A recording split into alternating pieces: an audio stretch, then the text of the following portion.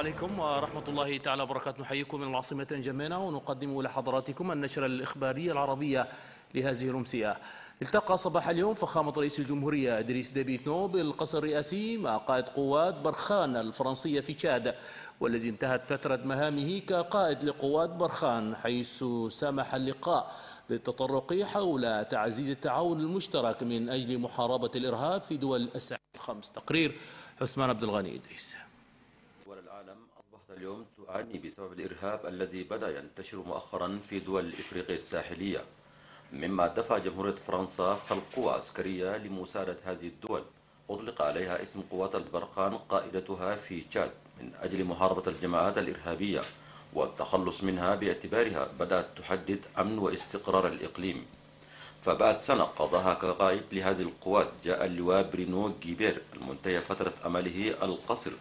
للقاء فخامة رئيس الجمهورية إدريس ديبي إتنو. رفقة السفير الفرنسي لدى البلاد فيليب لاكوست وعدد من الضباط العسكريين بقوات البرخان. اللواء برينو الذي انتهت فترة عمله لقيادة هذه القوة ونسبة لما قدمه من جهود منح وسام ضابط النظام الوطني التشادي. من قبل فخامة رئيس الجمهورية إدريس ديبي إتنو المقابلة التي حضرها الوزير المنتدب لدى رئاسة الجمهورية المكلف بالدفاع والمحاربين القدامى وضحايا الحرب. ووزير الخارجية والتكامل الأفريقي والتعاون الدولي والمهجر ومساعدي رئيس الجمهورية بالأمانة العامة والمكتب المدني والعسكري. تطرق فيها اللواء برينو جيبير قائد قوات البرخان بدول الساحل ليطلع فخامة رئيس الجمهورية إدريس ديبي إتنو عن الأعمال الميدانية التي تقوم بها البرخان في دولة مالي وبوركينا فاسو في دعم ومساعدة قوات دول الساحل الخمس التي تحارب الجماعات الإرهابية والجرائم عابرة الحدود كتجار السلاح والمخدرات ومهربي البشر عبر الشريط الساحلي. كما بحث التعاون المشترك بين الحكومة التشادية وقوات البرخان بالإضافة إلى العلاقات بين فرنسا وتشاد في شتى المجالات.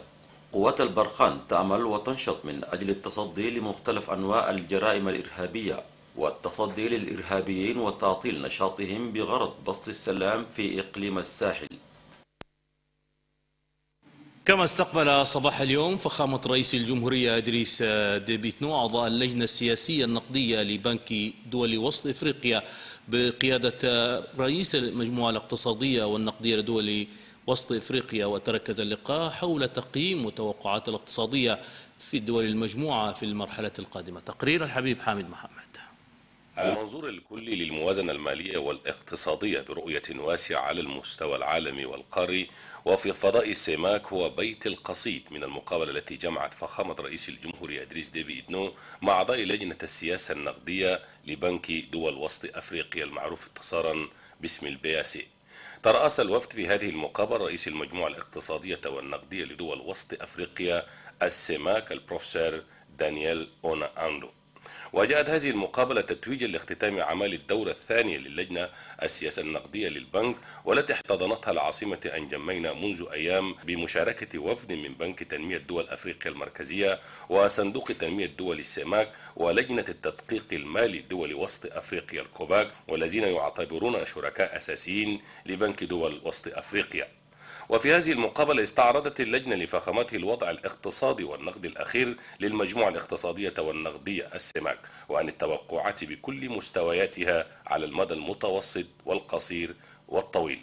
وتوقعات عام 2018 والتي من المفترض بأن تشهد انتعاشا خلال الأعوام القادمة لأن سعر برميل البترول متوقعا بأن يشهد نموا هو الآخر علاوة على ذلك الاتفاقيات المبرمة بين المجموعة وصندوق النقد الدولي إضافة إلى صادراتها الأساسية في الأسواق العالمية. كل هذه الملفات تم التطرق إليها مع فخامة رئيس الجمهورية. وكما جاء في البيان الصحفي الذي قدمه السيد عباس محمد تلي حاكم البنك يوم أمس أحاط فخامته أيضا بالتدابير الرامية إلى تصحيح الوضع الخارجي لدول المجموعة مع الإشارة إلى تشجيع البنك في إدارة المشاريع واستمراريتها دون تأخير. وباعتباره الرئيس الدولي لمجموعة السماك فإن فخامة رئيس الجمهورية إدريس ديبي إتنو أعطى لمختلف رؤساء اللجان في هذه المقابلة تعليمات بضرورة الإسراع في تمويل المشاريع الحيوية في الدول الأعضاء وأبرزها تلك التي تساعد دول المجموعة في النهوض اقتصاديا. حاكم بنك دول وسط أفريقيا. السيد عباس محمد تولي أكد عقب المقابلة بأن عجلة التنمية الاقتصادية في الدول الأعضاء تشهد نموا ملحوظا مع مطلع العام القادم. وقال أيضا بأن المجموعة تلقت تعليمات من فخامته بضرورة الإسراع في تمويل المشاريع الحيوية في الفضاء. نهاية سنة 2018 النمو اقتصادي يكون يعني حوالي 5.2% هذا النمو عالي.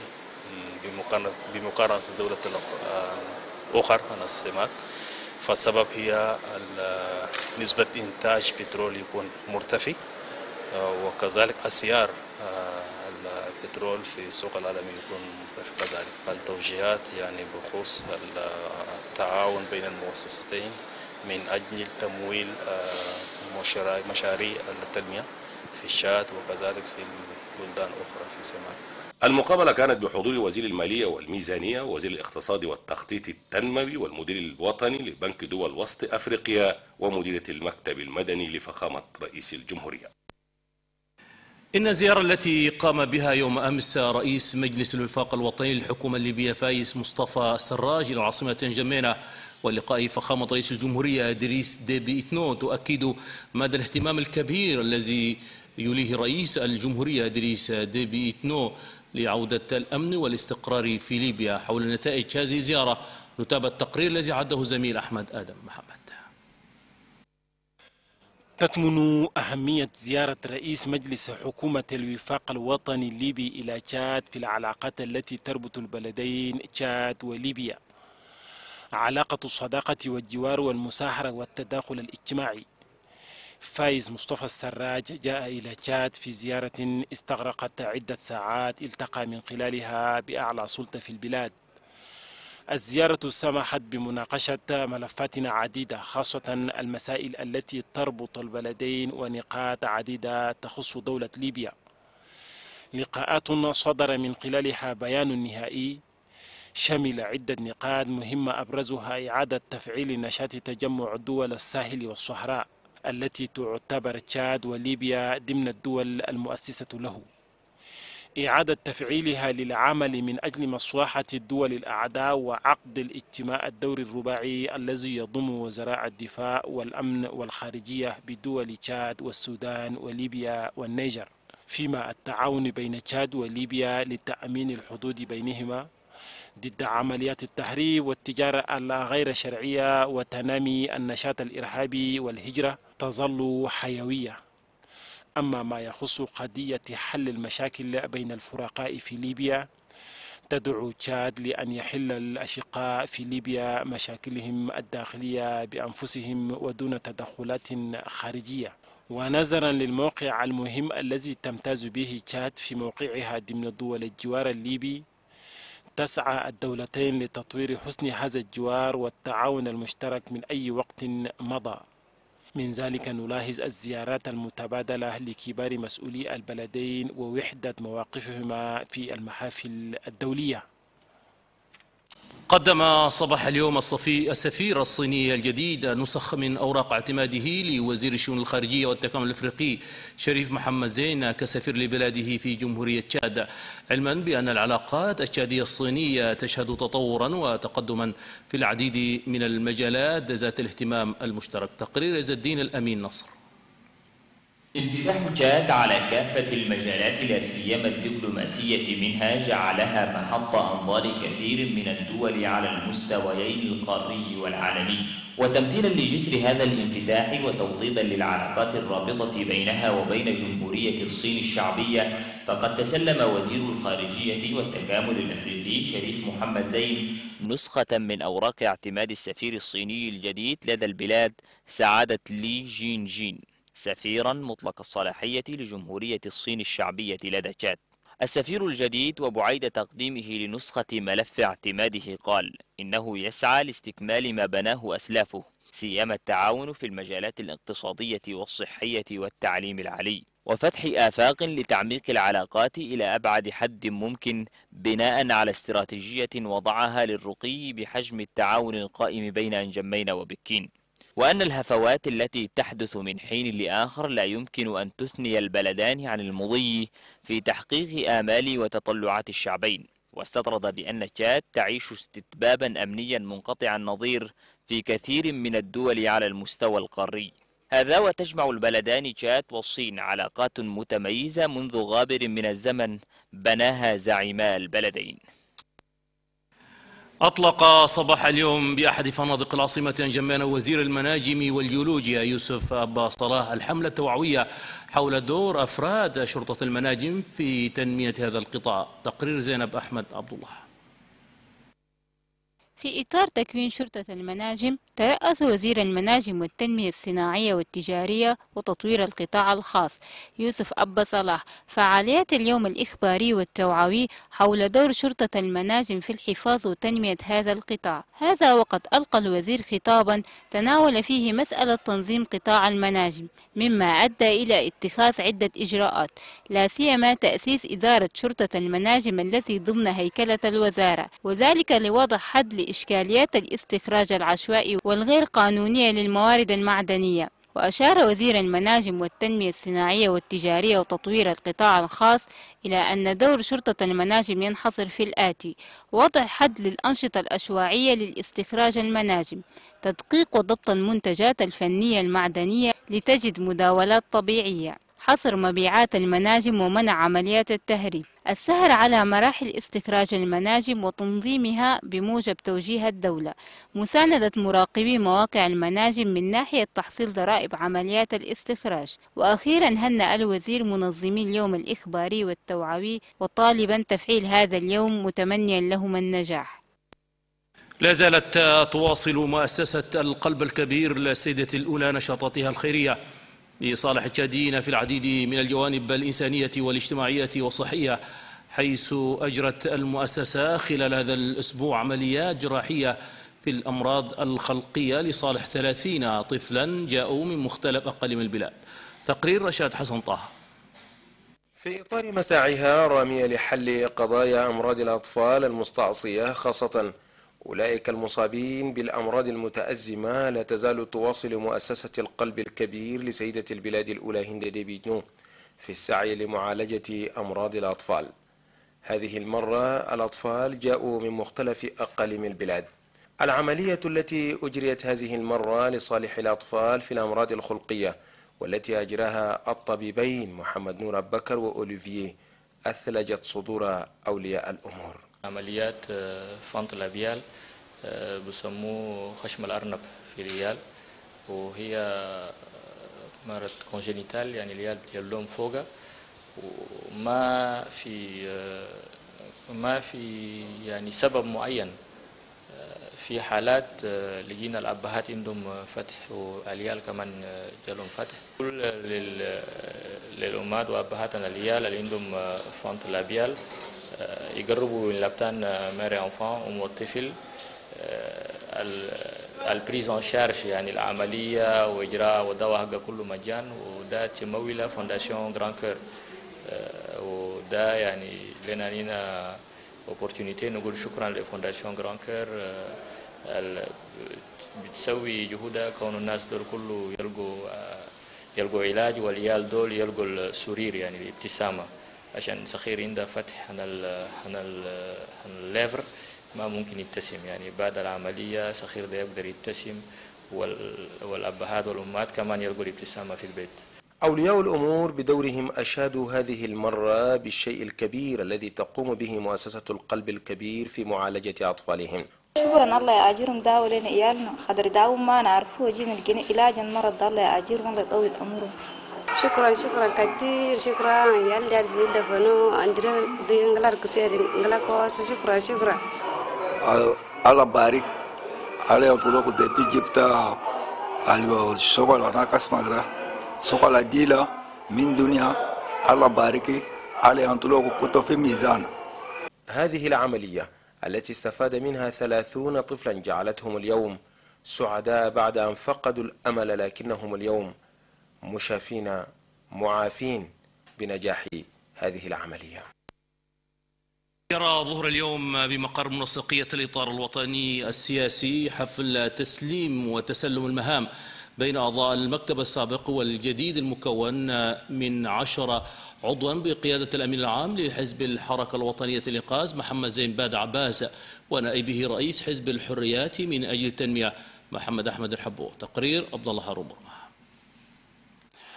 بعد صراع طويل بين تلك الأحزاب المعارضة وأحزاب الأغلبية الرئاسية فيما يتعلق بكيفية تكوين مكتب المنسقية للإطار الوطني للحوار السياسي حيث توصلت تلك الأحزاب إلى حلول سلمية بعد انتقاب المكتب التنفيذي للإطار الوطني للحوار السياسي بطريقة ديمقراطية.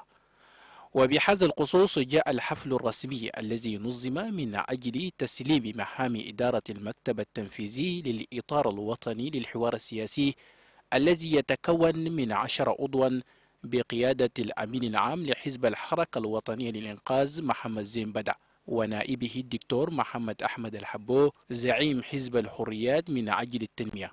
بكون اليوم السياسيين متفقين على سياسة إدريس ديبي؟ متفقين على حسب علوم التشاد يعني ما دايرة حرب ما دايرة مشاكل كثير وكيف نساند الرئيس وكيف نساند الحكومة ونمشوا للانتخابات يعني بكل نية واحدة وقلب واحد. شان ده خطينا الحوار ده.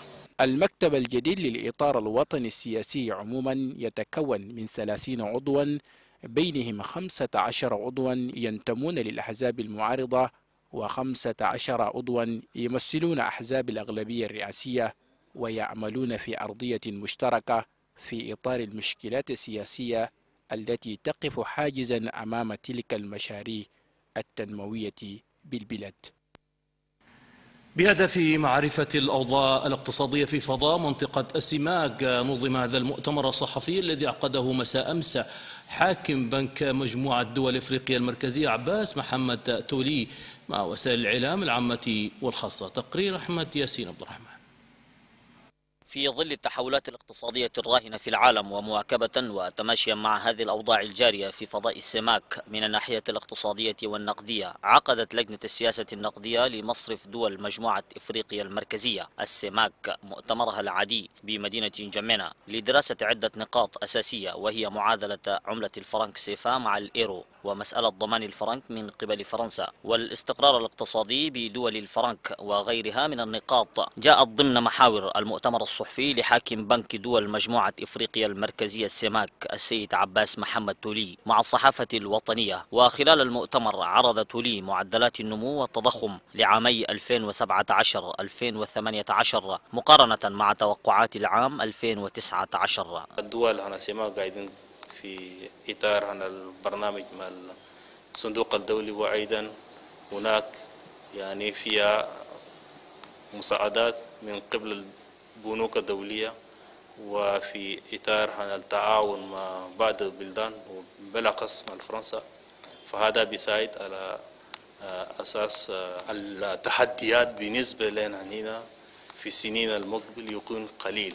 وخلال المؤتمر طرح عدد من الصحفيين أسئلة للسيد عباس تولي حول الإجراءات والرؤى المستقبلية لإنعاش الاقتصاد بدول الإقليم فرد الحاكم.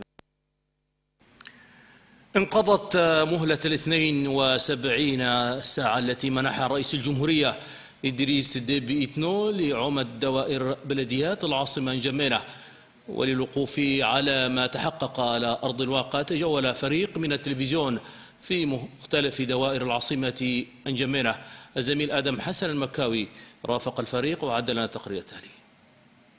عندما بلغ السيل الزبا في قضية نظافة العاصمة أنجمينة وسوء إدارة مسؤولي بلديات دوائر العاصمة. فجر رئيس الجمهورية مفاجأة من العيار الثقيل مفادها الإصلاح أو الإجراء الحكومي الصارم. في مدة أقصاها 72 ساعة فقط. فهب عمد الدوائر العشر لإصلاح ذات البين واغتنام فرصة الإصلاح حتى لا يؤول الأمر إلى ذاك الإجراء. وفي وتيرة متسارعة لتقديم ما تأخر انقضت مهلة الاثنان وسبعون ساعة بلمح البصر ولا جديد فيها يذكر ولا قديم يستحق الذكر. شوارع العاصمة أنجمنة في مختلف الدوائر تعج بالأوساخ العائمة والقائمة على أطراف الطرق الرئيسية التي قد أضحت طرقا برمائية بسبب عامل المياه الذي ترسب على رأس الطريق لعدم وجود مجاري مائية أو لعدم تسليكها في ظل معاناة المواطن الذي يترقب ويسأل. أكم سيطول المخاض في هذه الحالة؟ متأملا في تدخل رئيس الجمهورية الخير. المراقد وساخ مسبة كان بو بوشي كل كي رئيس الجمهورية سميا وأنت انستركسيون عشان يعدلوا البكان. جسكا الآن كده شيء كده ما في؟ مش لا صدقوا في طريق الماشين. عندنا ديفيكولتي توجور زان حاجة فوق ده عديل ولكن الناس ده في وقت الحصة ورده شيء يعني نكلي سبودو كي خدموا شفنا كي ما في ندورو خليه يقوم يجاهدوا لنا يعدلوا لنا هيلة يجاهدوا ده شغل المهم لنا دورنا أنا رئيس الكلام ده حق. هو شيء كي ألقى بشيفة كي ما في. هو ديزين الناس اللي يخدموا في البلد والناس ما قاعد يخدموا إذا قال المواطن ما عنده. وكشفت الكاميرا النقاب وبقي الفصل والحكم في المسألة. شهد مقر معهد بحوث الثروة الحيوانية من أجل التنمية اجتماع عمل بين المدير العام للمعهد الدكتور آدم جوجة والوفد المغربي الزائر بقيادة الدكتور خالد الثدلاوي. وذلك من أجل تبادل وجهات النظر حول تنمية الثروة الحيوانية بين البلدين. تقرير محمد عثمان بشير. في إطار العلاقات القوية التي تجمع بين جمهورية تشاد والمملكة المغربية. جاءت هذه الزيارة التي قام به وفد مغربي يمثل المجمع البيولوجي والكيميائي لصحة الحيوانية بقيادة مديرها العام الدكتور خالد الثدلاوي حيث عرض الثدلاوي مختلف تلك الخدمات التي تقدم من قبل مؤسسته في مجالات صناعة الأدوية واللقاحات والبحث العلمي في قطاع الثروة الحيوانية. وأضاف خالد الثدلاوي أيضا بأن مؤسسته التي تسمى اختصارا ب MC سانتي أنيمال مستعدة لتقديم ما يمكن من أجل المساهمة في تطوير قطاع الثروة الحيوانية في تشاد. هذا وبما أن تشاد تعد من بين تلك الدول التي تتمتع بثروات حيوانية هائلة تقدر بأكثر من 113 مليون رأس من الثروة الحيوانية حسب آخر تلك الإحصاءات التي أجريت بمعهد بحوث الثروة الحيوانية من أجل التنمية. يريد؟ فإن مديرها العام الدكتور آدم جوجا قدم للوفد المغربي الزائر شروحات مفصلة عن عمل هذا المعهد. وأوضح لهم أيضا بأن المعهد سيستفيد من خبرات هذا المجمع المغربي في تطوير مجالات البحث العلمي وصناعة الأدوية وتدريب الباحثين والعاملين في هذا القطاع. هذا ومن المتوقع أن تتوج هذه الزيارة بالتوقيع على بروتوكول التعاون بين المؤسستين. سيكون أساسا لتبادل الخبرات والمعلومات بين معهد بحوث الثروة الحيوانية من أجل التنمية في تشاد والمجمع البيولوجي والكيميائي للصحة الحيوانية بالمغرب. دعما للعلاقات التشادية السودانية التي تربط البلدين قام محافظ محافظة أسونغا. محمد عبد الكريم علي بزيارة لمدينة الجنينة السودانية ولاية غرب دارفور بهدف تقديم التهاني للوالي الجديد للولاية. تقرير زميل محمد هارون أبو قرين تندرج هذه الزيارة التي قام بها محافظ محافظة أسونغا والوفد المرافق له إلى مدينة جنينة حاضرة ولاية غرب دارفور والتي تأتي في إطار تقديم التهنئة والتبريكات لوالي الولاية حسين ياسين حمد بتوليه زمام قيادة ولاية غرب دارفور وذلك تأكيدا على عمق العلاقات الجذورية المرتبطة بين البلدين والشعبين. محافظ محافظة أسونغا محمد عبد الكريم علي قدم خطابا ضافيا هنأ من خلاله. والي ولاية غرب دارفور حسين ياسين حمد بتعيينه حاكما لقيادة ولاية غرب دارفور مشيدا بالعلاقات الوشيجة والوطيدة بين البلدين والشعبين وتجسيد روح التعاون المشترك بين ولايتي وداي وغرب دارفور الذي يترجم السياسة الأمنية والسلام وحرية تنقل الأشخاص وممتلكاتهم.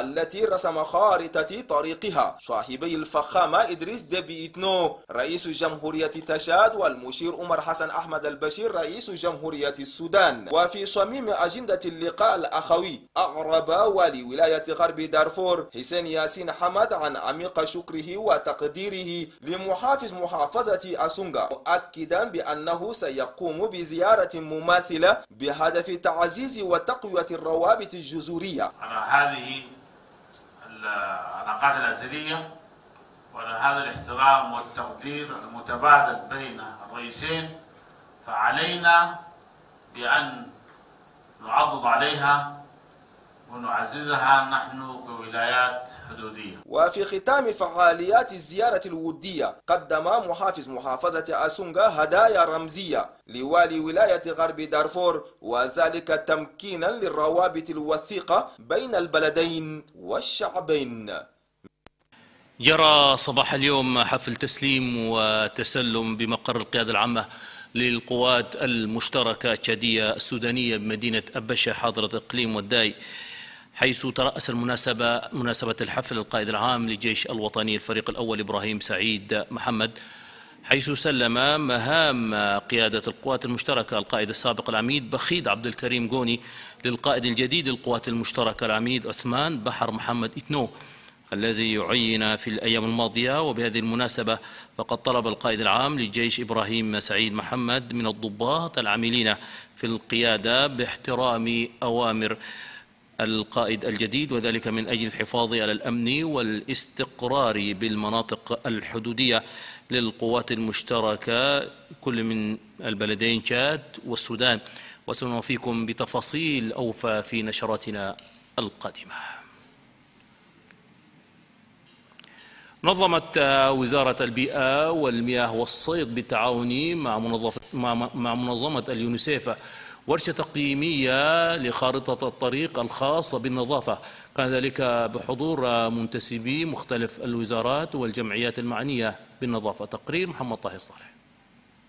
بناء على التوصيات التي أصدرتها وزارة البيئة بالتعاون مع برنامج الأمم المتحدة للأمومة والطفولة عام 2017 الخاص بالنظافة الصحية تم إعداد خارطة طريق لدراسة النظافة الصحية حتى عام 2030 تحت شعار لا للتغوض في الآراء والذي اشتمل على دراسة التبرز في الآراء في المناطق الريفية. جاءت الورشة المعنية لدراسة خارطة الطريق ووضع الاستراتيجيات الكفيلة التي من شأنها محاربة هذه الظواهر وإيجاد بيئة صحية خالية من الأمراض سيما الأطفال في المدارس. وهذا يدخل ضمن سياسة الحكومة حول الاستراتيجية للنظافة. المشاركون ناقشوا كل الجوانب الفنية والصحية التي من شأنها تسهم في الحد من ظاهرة الأمراض وإيجاد بيئة صحية نظيفة. رئيسة قسم المياه والنظافة ببرنامج الأمم المتحدة للأمومة والطفولة اليونسف السيدة برجيت بيدرو قالت إن المنظمة تقف بجانب الحكومة في مساعيها الحميمة لتوفير النظافة التي تعد أحد ركائز التنمية وفي خطابه الختامي لأعمال الورشة.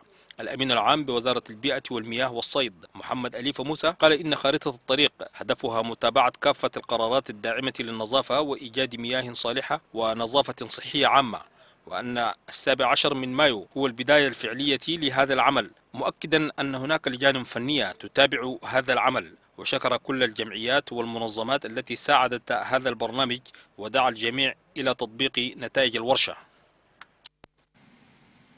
الحملة التوعوية حول مخاطر الحمل الأربعة التي نظمها مشروع دعم الصحة والبيئة أنهت أعمالها صباح اليوم بالدائرة التاسعة. خليل حسن صالح.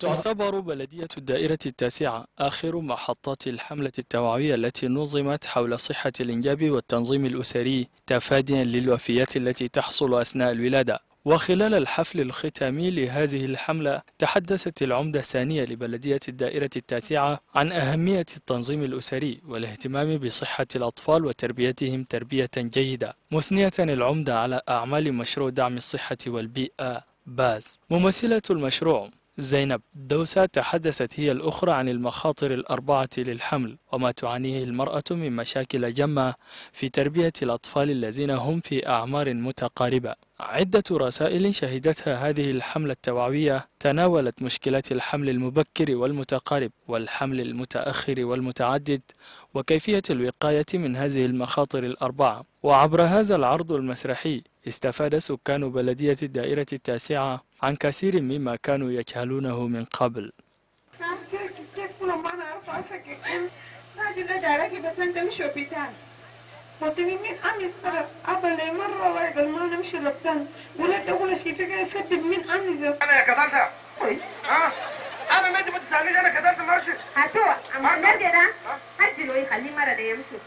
هذا وختمت الحملة بأسئلة للمواطنين لمعرفة مدى استيعابهم لحملات التوعية التي نظمها مشروع دعم الصحة والبيئة باز. أختم هذه النشرة بقراءة هذا المرسوم الذي يحمل رقم 1455 باقتراح من وزير الشؤون الخارجية والتكامل الإفريقي والتعاون الدولي والمهجر يرسم بما يلي المادة الأولى استدعي السيد محمد سنوسي عبد الله سفير فوق العادة ومطلق الصلاحية لجمهورية تشاد لدى جمهورية ألمانيا الفيدرالية المادة الثانية يستفيد المعني من جميع الحقوق المنصوص عليها بالمرسوم رقم 570 فاصل رئاسة الجمهورية الصادر بتاريخ الثالث والعشرين من أبريل 2012 المذكور على المادة الثالثة لكل من وزير الشؤون الخارجية والتكامل الإفريقي والتعاون الدولي والمهجر ووزير المالية والميزانية كل حسب اختصاصه تنفيذ هذا المرسوم الذي يدخل حيز التنفيذ ويسري مفعوله ابتداء من تاريخ التوقيع عليه. يسجل وينشر في الجريدة الرسمية للجمهورية جمينا في السادس والعشرين من يوليو 2018 توقيع إدريس ديبي إتنو. بهذا نصل وإياكم إلى نهاية هذه النشرة الإخبارية العربية التي قدمناها لكم من الفضائية شاديات أشكركم على طيب الانتباه والمتابعة. السلام عليكم.